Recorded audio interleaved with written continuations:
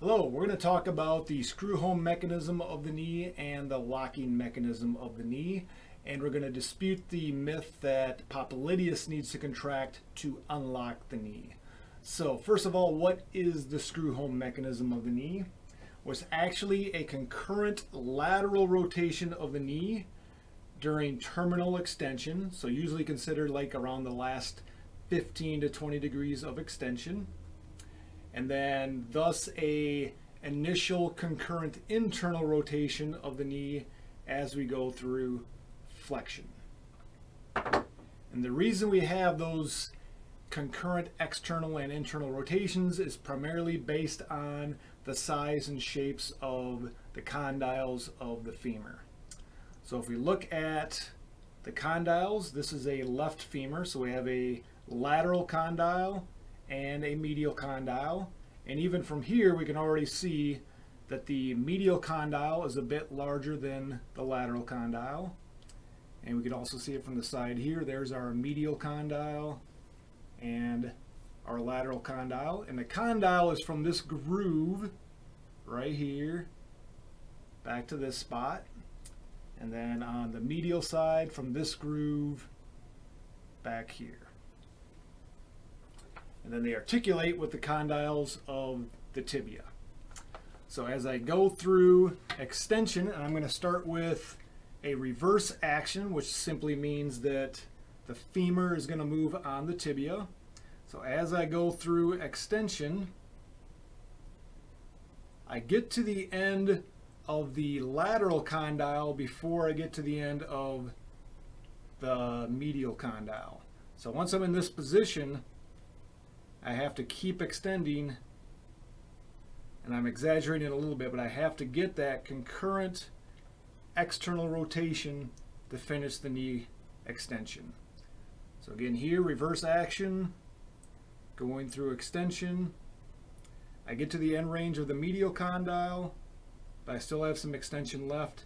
So that causes a little bit of rotation here because this side, the medial side is moving when the left side is more stationary.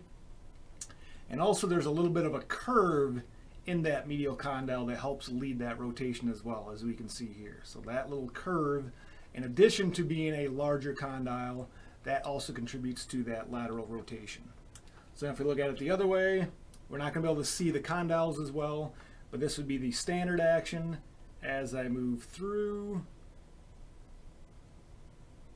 And then I'm going to kind of max out this medial side or the medial condyle again and I have to finish the extension with a little bit of lateral rotation.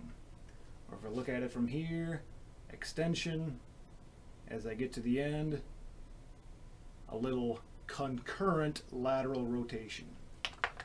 So it's only shaped on the condyles or based on the shape of the condyles.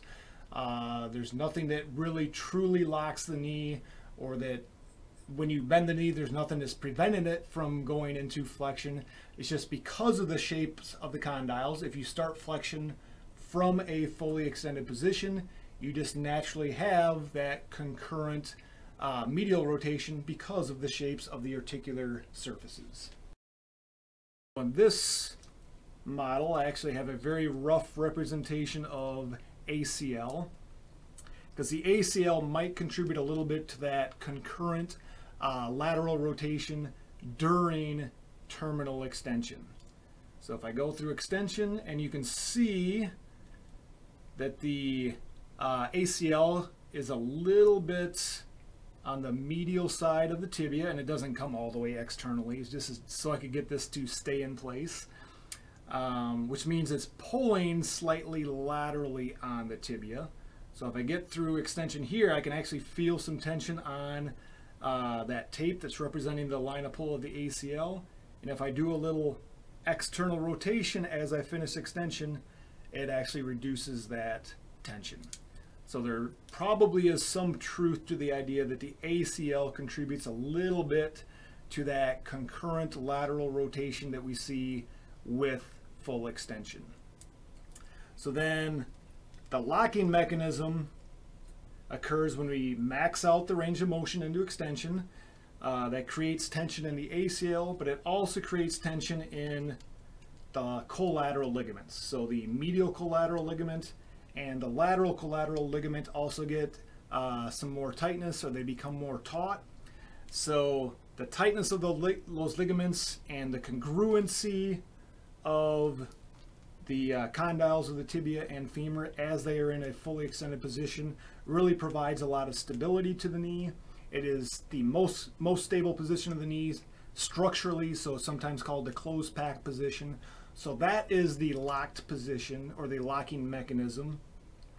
But that locking mechanism just means it's more stable there. There's still nothing blocking the knee from coming out of that extension where you need to first or pull into that medial rotation. That medial rotation, as I come out of here, happens automatically no matter what muscles are contracting as long as they're pulling into flexion because of the shapes of the condyles.